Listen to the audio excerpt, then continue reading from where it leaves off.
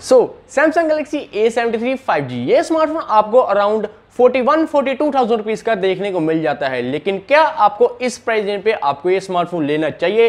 या फिर आप किसी और स्मार्टफ़ोन के लिए जा सकते हैं। वीडियो डेफिनेटली काफ़ी इंटरेस्टिंग होने वाली है।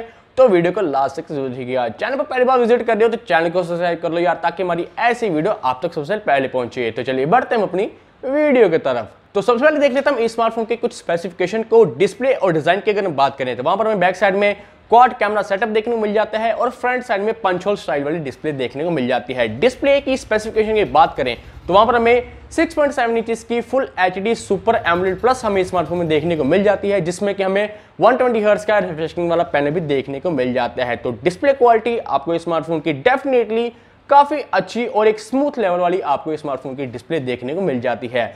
इसके बाद बात करते हैं मैं स्मार्टफ़ोन के प्रोसेसर की, जो कि बहुत ही मेन बात है। यहाँ पर आपको इस बार देखने को मिल जाता है स्नैपड्रैगन की तरफ़ से आने वाला स्नैपड्रैगन 778G जो कि एक 5G प्रोसेसर है। तो अगर आप स्मार्टफ़ोन में गेमिंग भी करते हैं तो काफ़ी अच्छी और स्मूथ लेवल वाली आप स्मार्टफ़ोन में गेमिंग भी कर सकते हैं। डिस्प्ले और प्रोसेसर के बाद बात करें स्मार्टफ़ोन के कैमरास की तो वहाँ पर हमें बैक साइड में क्वाड कैमरा सेटअप देखने को मिल जाता है, जिसका जो मेन कैमरा होगा वो इस बार होगा 108 मेगापिक्सल का विद ओ आई पोर्ट के साथ।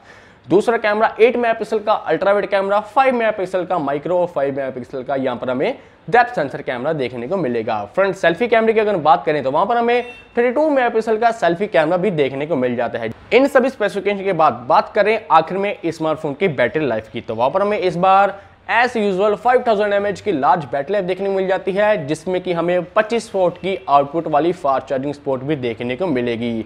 लेकिन अनफॉर्चुनेटली आपको स्मार्टफ़ोन का जो बॉक्स में इन बॉक्स चार्जिंग आपको स्मार्टफ़ोन में देखने को नहीं मिलेगी। आपको अलग से स्मार्टफ़ोन का जो चार्जर है, वो परचेस करना पड़ेगा।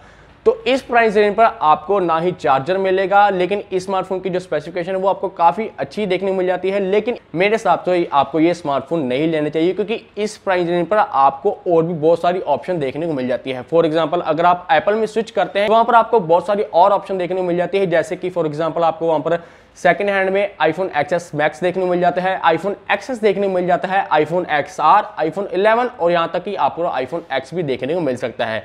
तो ये सभी मॉडल आपको इसी प्राइस रेंज में आपको एप्पल के देखने को मिलेंगे। अगर आप एप्पल में नहीं तो एंड्रॉइड में ही रहना चाहते हैं तो आप सैमसंग के या फिर वन प्लस के किसी और डिवाइसेस में आप जा सकते हैं, जो कि आपको इससे कम प्राइस में इस, इतनी ही स्पेसिफिकेशन आपको दे सकते हैं।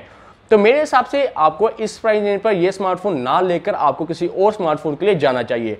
बाकी डिपेंड करता है आपके पर्सनल यूजेस के ऊपर कि आपके लिए कौन सा स्मार्टफ़ोन सबसे ज़्यादा बेस्ट रहेगा तो आप उसी की तरफ़ जा सकते हैं। बाकी ये थी हमारी आज की वीडियो अगर आपको वीडियो चली प्लीज़ वीडियो को लाइक कर दिए चैनल पर नए सब्सक्राइब करना ताकि हमारी ऐसी वीडियो आप तक सबसे पहले पहुँचे। तो मिलते हैं अगली बार एक नई वीडियो के साथ। तब तक के लिए गुड बाय